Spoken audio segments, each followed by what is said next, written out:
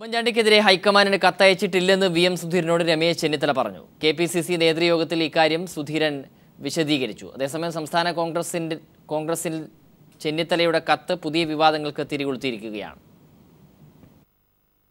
K P C C നേതൃയോഗത്തിന് തൊട്ടുമുൻപ് V M സുധീരനെ കണ്ട് കത്തെഴുതിയിട്ടില്ലെന്ന് രമേശ് ചെന്നിത്തല വിശദീകരിച്ചു.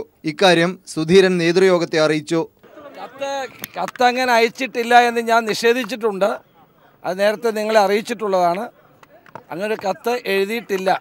ദില്ലിയിലേക്ക് പോകുന്നത് നേരത്തെ എടുത്ത തീരുമാനത്തിന്റെ അടിസ്ഥാനത്തിലാണെന്ന് സുധീരൻ വന്നത് മറ്റൊന്നുമല്ല. ഞങ്ങളുടെ ഡൽഹി യാത്ര ഈ കത്തിന്റെ അടിസ്ഥാനത്തിൽ പറയപ്പെടുന്ന കത്തിന്റെ അടിസ്ഥാനത്തിൽ വന്നിട്ടുള്ളതല്ല. കത്തെഴുതിയത് രമേശ് ചെന്നിത്തലയാണെന്ന് ഐ ഗ്രൂപ്പ് നേതാക്കൾ രഹസ്യമായി സ്ഥിരീകരിക്കുന്നു. നേതൃമാറ്റം ലക്ഷ്യമിട്ട് തുടർച്ചയായി ഐ ഗ്രൂപ്പ് യോഗങ്ങൾ ചേർന്ന സാഹചര്യത്തിലായിരുന്നു കത്തെഴുതിയത്. തദ്ദേശ തെരഞ്ഞെടുപ്പ് ചർച്ച ചെയ്ത കെ പി സി സി യോഗങ്ങളിൽ പറയാത്ത കാര്യം ഹൈക്കമാൻഡിനെ എഴുതി അറിയിച്ചതുള്ള അതൃപ്തി എ ഗ്രൂപ്പ് നേതാക്കൾക്കുണ്ട്. രമേശിന്റെ കത്ത് സുധീറിനെ കൂടി ലക്ഷ്യം വെക്കുന്ന സാഹചര്യത്തിൽ ഐ ഗ്രൂപ്പ് ഒറ്റപ്പെട്ട മട്ടാണ്. News bureau Thiruvananthapuram.